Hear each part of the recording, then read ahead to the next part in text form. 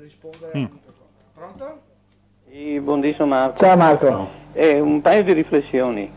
Allora, ehm, parlavate di Nerone prima, no? Sì, anche. Sì, qualcosetta così, eccetera. Ehm, a me piacerebbe, per esempio, che ehm, il modo così di diffondere eh, e di insegnare anche la storia, no? Eh, si limitassero eh, spesso a, a, dare notizie senza commentarle, cioè, per esempio, un piccolo, un piccolo, um, piccolo così esempio. Quando si dice di Nerone, no? Eh, non so, dire da quando ha regnato, da quando insomma eh, però, per esempio, siccome io so che i, i cristiani, cristiani spesso, no, dopo, visto che, che, hanno contribuito certamente a, alla, alla, decadenza e anche alla distruzione dell'impero romano, e dopo loro naturalmente i vari imperatori venivano giudicati a seconda se erano favorevoli o no all'espansione de, de, della, della, religione cristiana, senza eh, tener conto invece di quella che era stata la, la grandezza eh, e anche la, l'acume politico di certi imperatori. Quindi hanno fatto quello che hanno voluto, hanno dato e soprattutto poi nella storia si sono eh, tramandate queste, queste eh, come si può dire, queste, queste cose che volevano insomma, che, che nella, nella, storia si insegnasse, eh, l'hanno, l'hanno, la, lo sappiamo che la storia l'ha, scritta chi ha vinto, no? e certamente non chi ha perso. I cristiani hanno influenzato tantissimo eh, secondo me, la, ecco, certe, certe, anche prese di posizione verso eh, certi imperatori sono stati definiti buoni o cattivi, per esempio Giul- mi viene in mente Giuliano l'Apostata, mm. Che chi ha studiato e lo conosce bene è stato un imperatore di una, di una, di una grandezza, era un filosofo, era... Era, dal punto di vista era, politico, dal punto di vista dello, cioè dello sì, Stato? Erano, po- poi anche addirittura non hanno, eh, non hanno fatto giustizia di quello che era veramente la, la, grandezza di certi personaggi, li hanno distrutti a seconda se questi si, si opponevano all'espansione delle... Allora, Marco, sì. non devi mai dimenticare i punti di riferimento, mi senti? Sì, sì, ti sento. Allora, per un cristiano il punto di riferimento è il Dio e il suo essere cristiano. Tutto ciò che favorisce l'espansione del cristianesimo e del suo essere cristiano è bene, tutto il resto è malvagità. Eh, per invece lo Stato, per un'organizzazione sociale, tutto ciò che favorisce l'organizzazione sociale è bene, il resto è male. Allora se io guardo la storia di Roma dal punto di vista della società romana do un giudizio, se guardo invece dal punto di vista del cristiano do un altro giudizio certo. e naturalmente costruisco sopra questo. Sì, sì. Però tu sai che per esempio eh, mo- moltissima della letteratura, moltissime dei di reperti, tu, tutto quello che è stato anche elaborato, è stato trascritto, tradotto attraverso anche eh, so, i vari monasteri, dopo i, i primi, i, tutti i lavori che si facevano all'interno anche di quei conventi, eh, tu, tu, sai quanto è stata influenzata eh, la, quella storia che conosciamo noi oggi, è stata influenzata da chi, sì, da chi è stata falsificata anche. È anche falsificata, ma io ci credo a questo, perché naturalmente chi eh, avevano un interesse grandissimo loro a manipolare queste cose e a scriverle a seconda del loro interesse e un po' alla volta queste cose vengono fuori ci sono queste revisioni storiche che sarebbe bene che... Sì, beh, basta, citavo prima Celso e Porfirio, delle sue loro opere conosciamo, li conosciamo perché sono state citate in opere contro sì. Celso e Porfirio, altrimenti sì. nei loro libri non sarebbe rimasto più nulla di Celso e Porfirio certo. stesso. Senza contare che è giustissimo quello che avete detto anche voi che tutto ciò che non andava bene per loro, eh, prendevano, distruggevano tutto, quindi da una parte eh, si dicono, eh, si, si, vogliono proclamare eh, che hanno salvato tantissime opere, eh, tantissime cose che hanno un valore inestimabile, letterarie, filosofiche, eccetera, dall'altra parte però ne hanno distrutte altrettante perché a loro non andava bene in quanto perseguivano certamente attraverso la diffusione del cristianesimo a impadronirsi sempre di più del potere, che poi io mi chiedo Va bene, al tempo di Roma Guarda, sicuramente i cristiani... Io, io, ti faccio un esempio. Sì. E, ehm, c'è un autore italiano mm, che si chiama Salvatore Natoli, non so se qualcuno sì, lo l'ho sentito. Ecco, lui ha scritto un libro che si chiamava I Nuovi Pagani, che non era un libro granché, cioè io l'ho leggiucchiato, non è che fosse grandi tematiche, benissimo. Siccome aveva fatto un che si chiamava I Nuovi Pagani, se dove è andato a finire a collaborare con questo giornalista? Sì. L'hanno chiamato all'avvenire, il giornale della CEI. Ecco Perché? Eh, perché fa comodo, adesso dentro là lo, lo, lo fanno, gli fanno fare quello che vogliono loro. E infatti, spesso che addirittura io ho recuperato un suo libretto con gli interventi fatti appunto sulle, su avvenire in cui c'è addirittura un, eh, un capitolo che si chiama Paganesimo, e su questo qua dice che ad esempio va a citare in positivo la Chiesa e va a citare in positivo il Cardinale Martini. Ecco, vedi un po'. Poi ecco, Va bene Marco. sì, sì, poi un'altra riflessione veloce e poi vi lascio.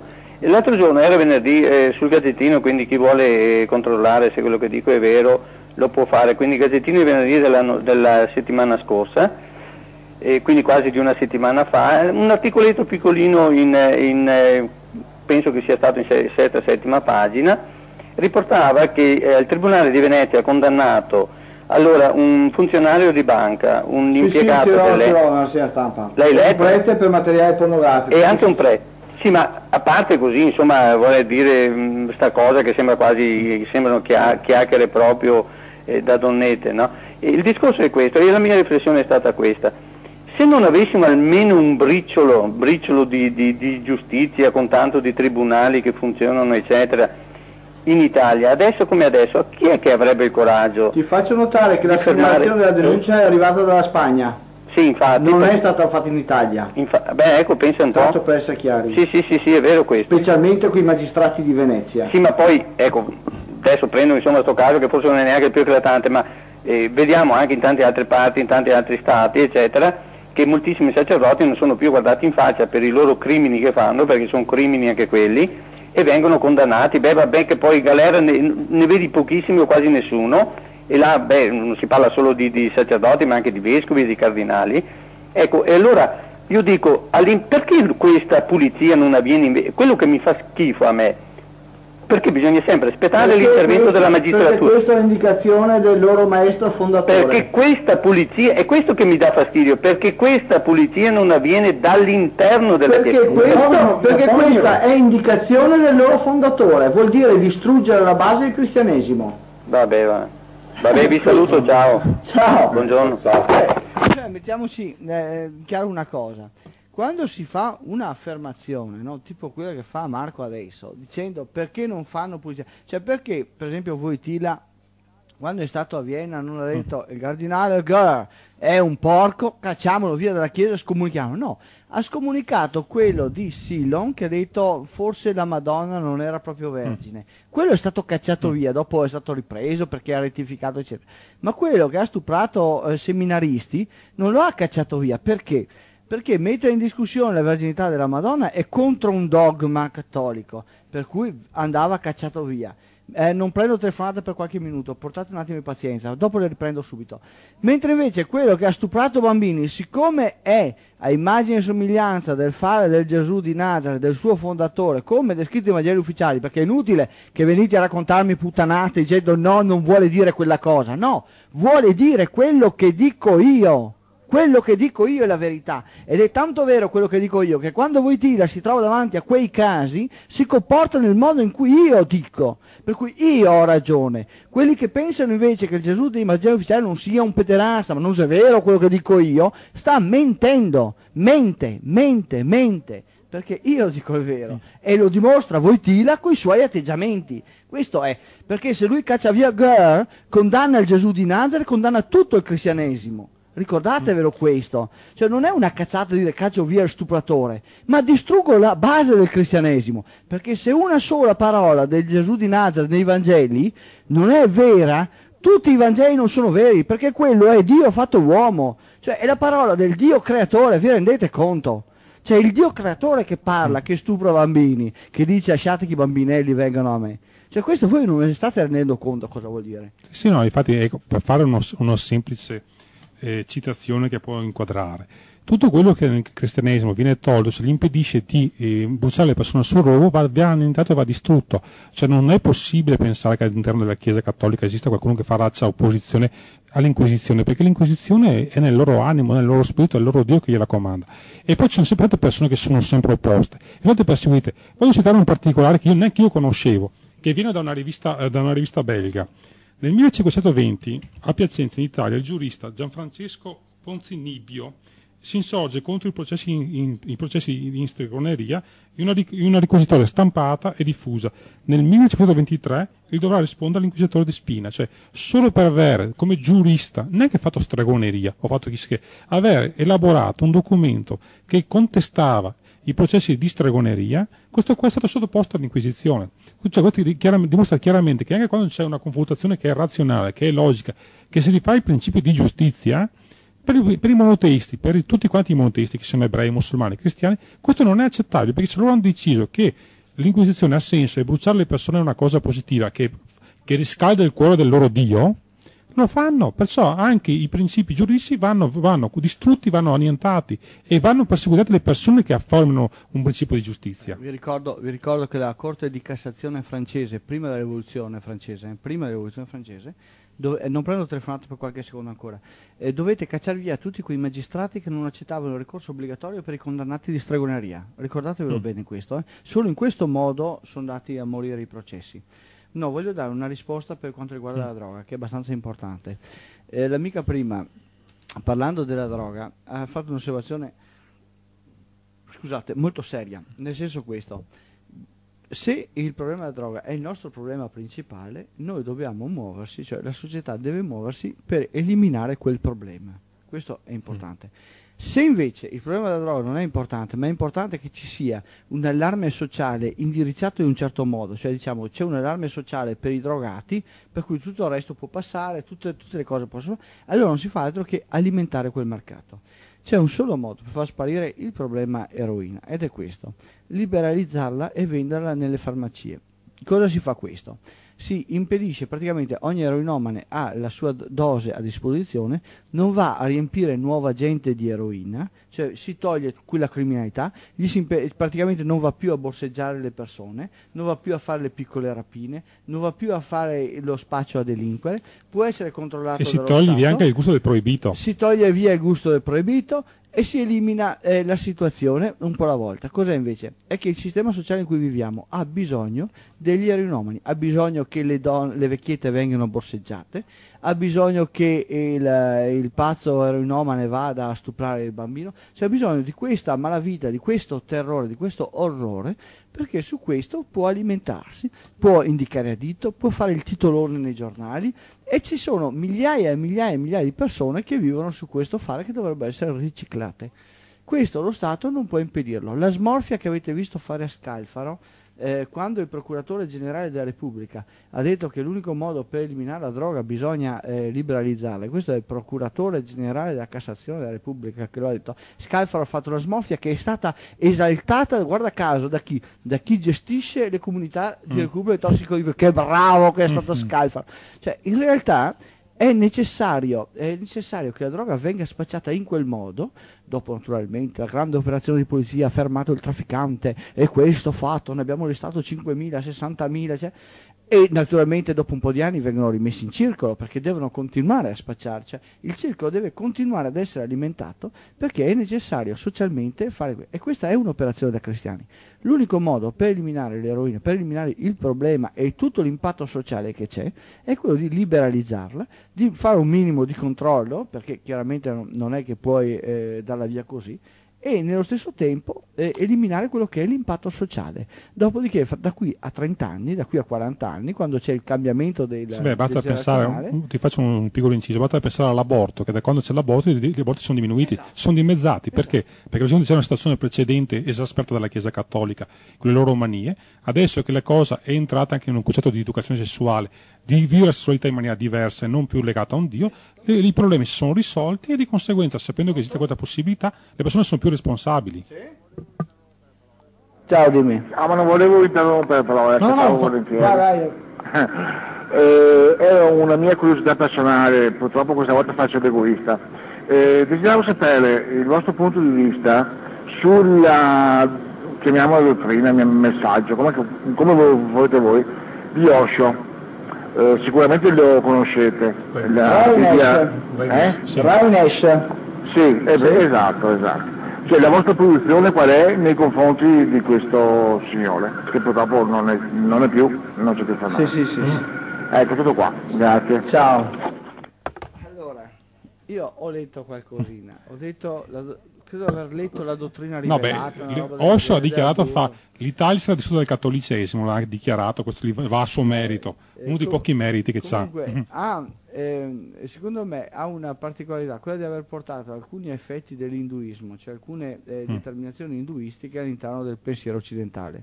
Detto questo, a me tutto quello che sono gli arancioni non me ne frega assolutamente niente, cioè non ho nessunissima posizione perché non ho né da scontrarmi con loro, non li ritengo importanti e non ritengo che l'operazione che abbiano fatto, viste le varie, le varie cose che hanno fatto mh, socialmente, eh, le ritengo importanti. Dopodiché eh, trasferire alcuni però elementi dell'induismo nel pensiero occidentale secondo me è stata una cosa importantissima. Però siccome è rimasta lì, cioè è rimasta Sì, sì. finalizzata a quello, moltissime persone che hanno seguito anziché continuare la strada, cioè anziché eh, sviluppare se stesse, sono finite per distruggere se stesse.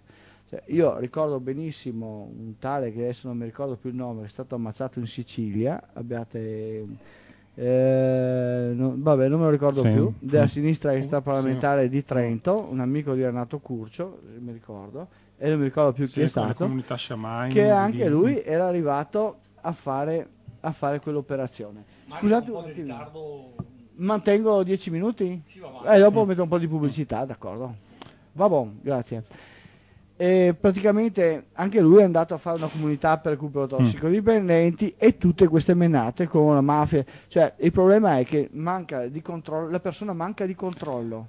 E questo a me che mi scoccia moltissimo. Cioè la persona non è padrona di se stessa, ma è sempre dipendente da qualcos'altro, anche dal maestro, dal respiro del mondo, da, da tante cose che gli sono estranee. Di tutto Sì, quello che vuole. sì, beh, ecco, Osho aveva detto alcune cose che erano simpatiche, tipo ad esempio aveva detto fa che reputava criminale Gesù Cristo perché aveva trasformato dell'ottima acqua in vino, che poteva essere anche dannosa Tra alla salute. prendo le telefonate, No, due no, minuti solo. Puoi anche prendere tranquillamente.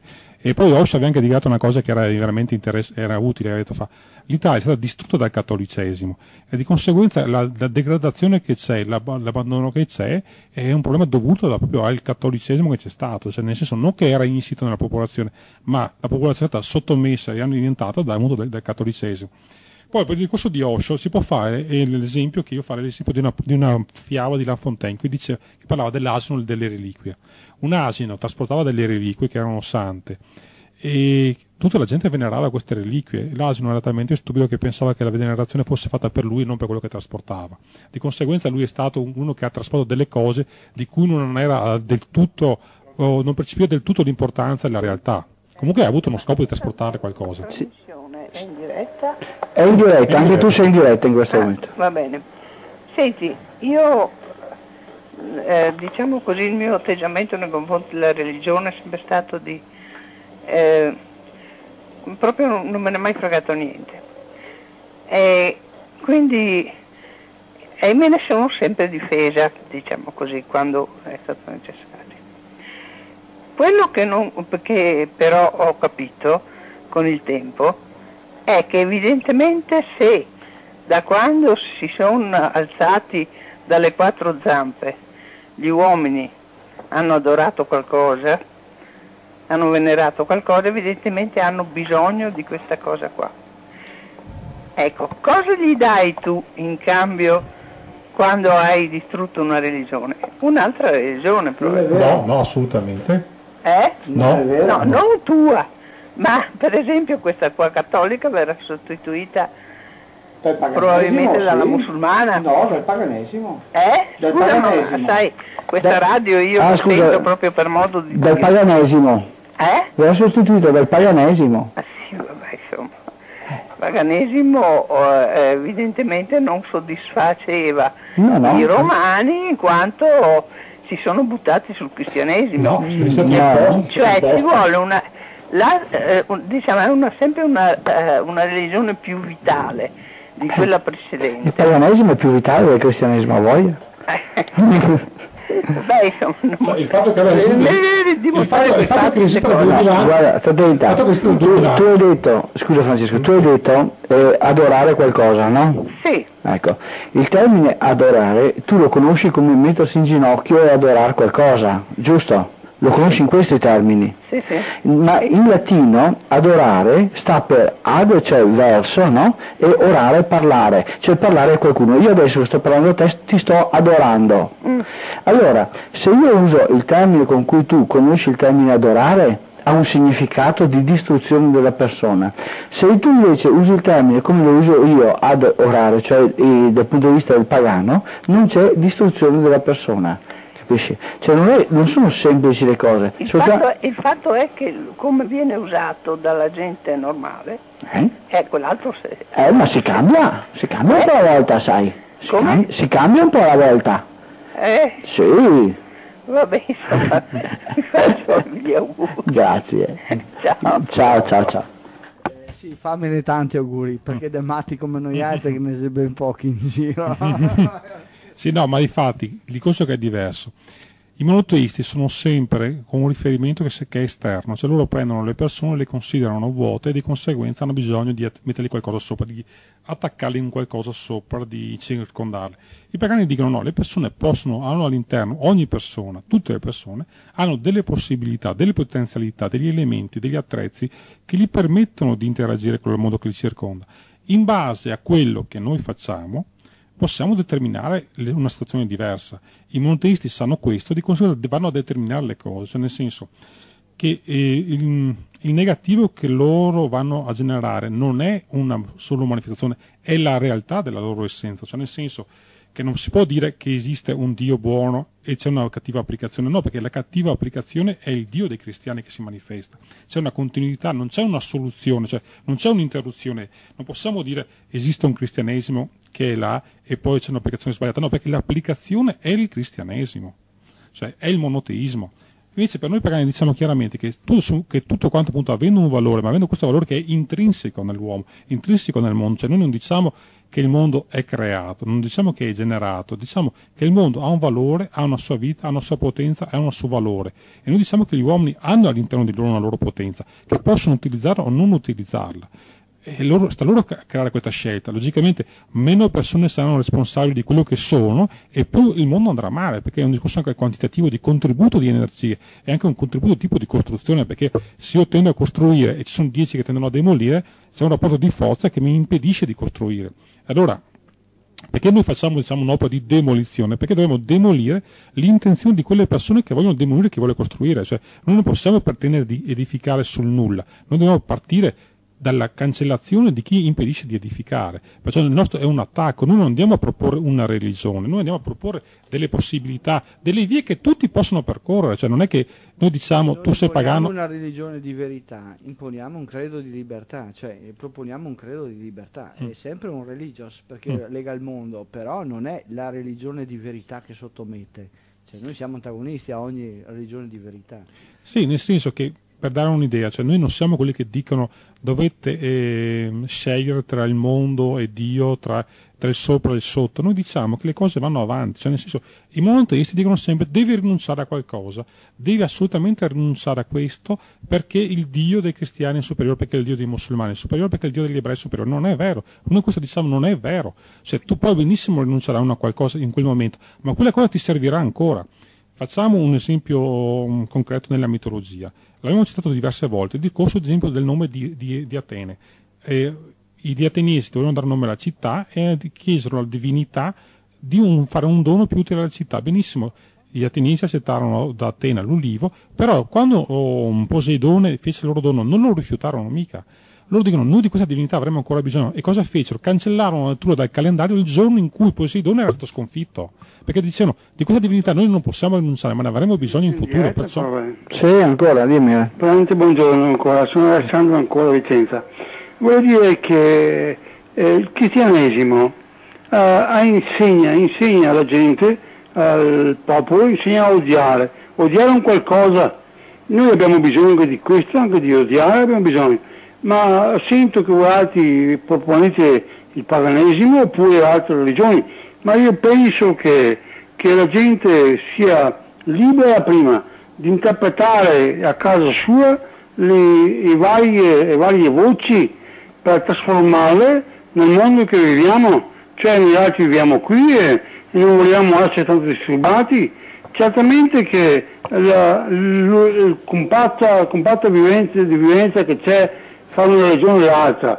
Sconvolge la gente perché è costretta a pensare all'infuori di quello che era il suo limite, la sua personalità. Noi altri dobbiamo pensare per il sostentamento, dobbiamo pensare per difenderci dalle leggi nazionali, che sono un'infinità, dobbiamo pensare per, per la cultura dei nostri giovani, per l'intraprendenza della nostra gente, ma noi diciamo che non devi pensare anche agli altri, devi pensare a te stesso soprattutto. Eh, ma quando noi pensiamo per noi, è come pensassimo per gli altri perché ma il nostro tessuto... Tanto comincia a pensare per te ma stesso, non se sei libero possibile, quella, non, non, è possibile eh, perché eh, sì, il figlio più giovane ha contatto con i suoi giovani, quello più giovane ancora ha contatto con i giovani. Non ti devi preoccupare degli altri, devi preoccuparti di te stesso. Ma non è vero, io devi perché c'è la responsabilità. Devi, devi preoccuparti di quello che dici, di quello che affermi. Cioè, esiste anche la tutela della famiglia, cioè il capo famiglia, il capo clan, eh, il capo paese, eh, il capo città. Capo, se non sei capo della famiglia devi pensare che sei un uomo, devi pensare che sei una persona.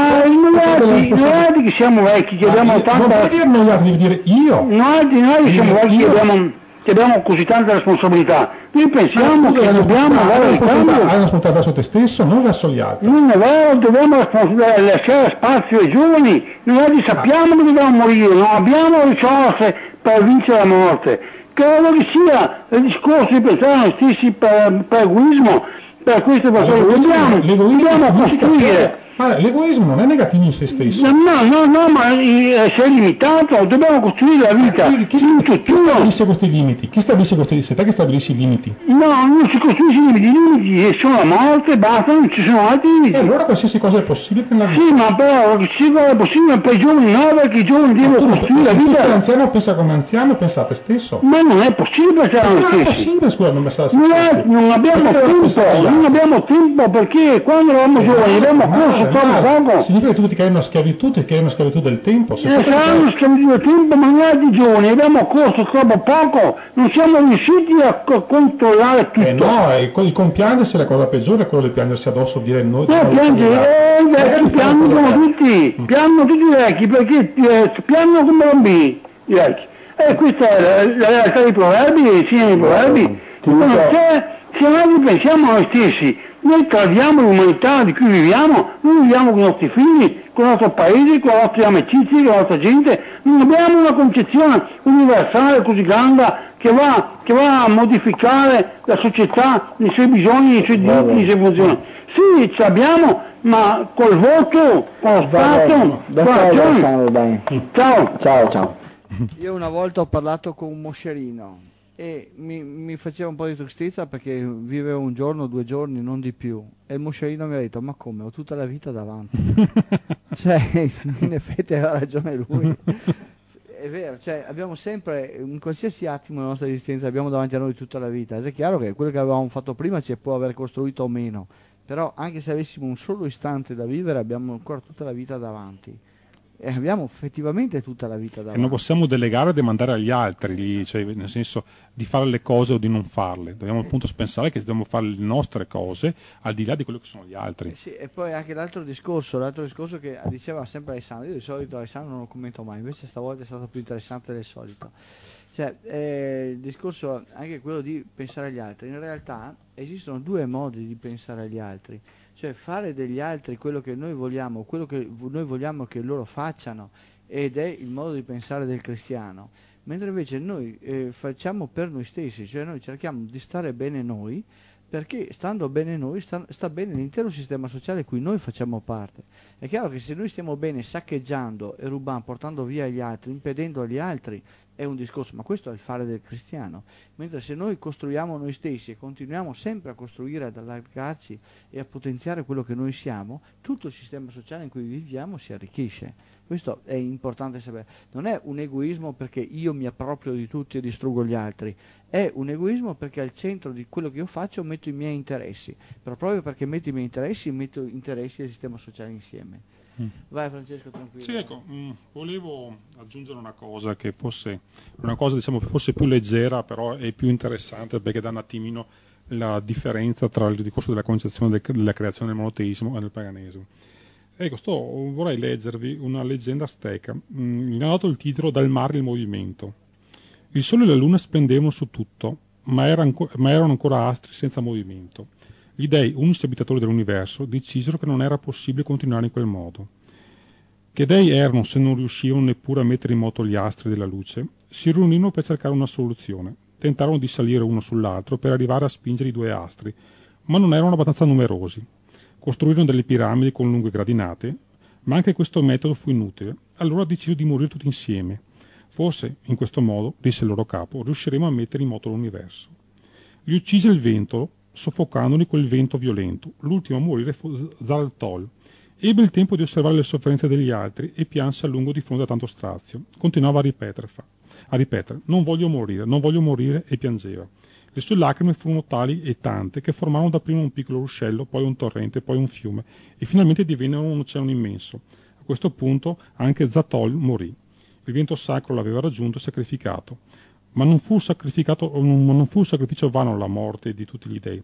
Il sole infatti incominciò a specchiarsi nell'oceano immenso e il riverbero delle onde gli fece male agli occhi. Cercò di spostarsi un po' per evitare che, di essere ferito da tutto quel luccichio, ma dopo un po' gli occhi gli fecero di nuovo male. Continuò a spostarsi per tutto il giorno, fino a quando scomparve nell'interno stesso dell'oceano dove trovò il sollievo delle tenebre profonde. Intanto, però, col suo andare aveva messo in moto tutto il meccanismo del firmamento, e da quel giorno più nessuno è riuscito a fermarlo. I primi dei non erano morti per nulla. Questo di, di, cioè, dimostra, questa è una leggenda molto più bella della creazione dei cristiani, in cui dice chiaramente che anche gli dei hanno bisogno di provare la loro forza e che se loro vogliono ottenere qualcosa come dei non devono imporlo agli uomini, ma devono agire di prima persona, devono essere di esempio e di dimostrazione per l'uomo, fa, non possono chiedere all'uomo fa, fai questo, obbedisci al mio volere perché io voglio questo. Loro stessi avevano la percezione che quella, cosa, cosa statica non fosse utile, non fosse bella e decisero in prima persona di intervenire.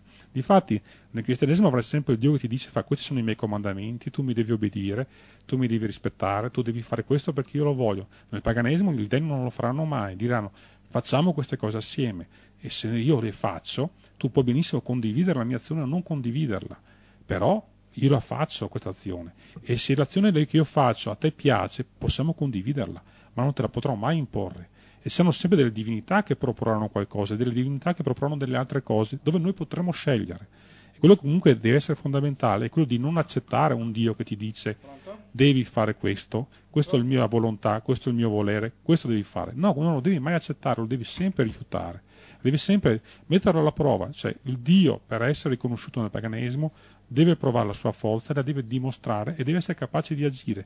Il Dio dei cristiani non è capace di agire, è capace di attribuirsi, attribuirsi, una creazione, attribuirsi, una creazione, e avere il gusto, il piacere suo di distruggerla, perché che contributo lui dà perché qualcosa venga edificato? Dove interviene materialmente per dare un aiuto? Nella distruzione della torre di Babele, per esempio, affinché gli uomini non possano capirsi. Mm, sì. E là lui lavora nell'istruzione, nel diluvio universale, perché gli uomini sì. gli rompono le, le, palle, secondo lui, e lui li distrugge. Sì, no, ma, Oppure, non so, ma ve, prendi, prendi l'esempio, l'esempio, della torre di Babele.